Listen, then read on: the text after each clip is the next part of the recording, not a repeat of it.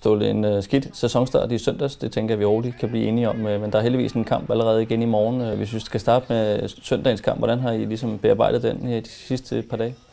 Mm, nei, vi hadde en hård bearbeiding på mandag hvor, hvor jeg sa mitt, og mine co-trenere sa mitt, og Martin som uh, Martin Langangård sa sitt. Og ja, så selvfølgelig spillerne òg.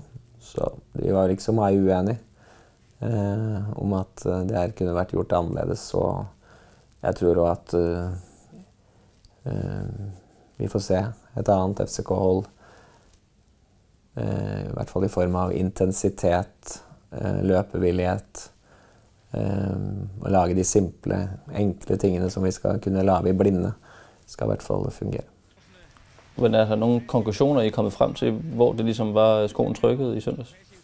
Det er jo litt individuelt, da. Altså, uten at vi skal komme inn på hvem som sa hva og, og hvorfor, så, så, er det nok litt individuelt. Men samtidig så tror jeg alle var enige om at, at eh, vi ikke var godt nok forberedt på det som ventet oss. Og det var jo det vi sa, at vi var der i fjor på samme tid, og vi ble løpt litt over i starten da fordi at eh, du møter et hold som eh, Moské spiller årets kamp, og da må du forberede deg for det. Og det syns jeg ikke vi, eh, vi klarte.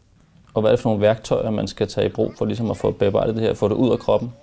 Det er det forhåpentligvis. Eh, nøye gjennomgang, og vi, kan ikke bli ved å, å selvpine oss over, over, mange dager. Vi skal som du sier, spille en viktig kamp i morgen. Hva er det så for en kamp der venter i morgen? nok en svær kamp, fordi at uh, de fikk sin seier nå. De har spilt en drøss med uavgjorte kamper. De har hatt svært ved å vippe sine kamper uh, til sin fordel. Nå fikk de en god seier, kom litt unna. står bedre til i tabellen. de har en vinn-vinn-situasjon her hvor, hvor de helt sikkert kommer til å, å gå hardt til den. Eh, og i form av et ekstremt løpearbeid, ekstrem duellkraft. Eh, de kommer til å spille eh, litt lengre boller enn det de har gjort med de forrige trenerteamet. Spille litt mer på andre boller, slår tidligere innlegg, står etter. Så vi må være forberedt på det. Men samtidig så må vi ha, bevare selvtilliten, bevare tryggheten og, og ikke gå i panikk og spille vårt spill. og få skrudd tempoet i været.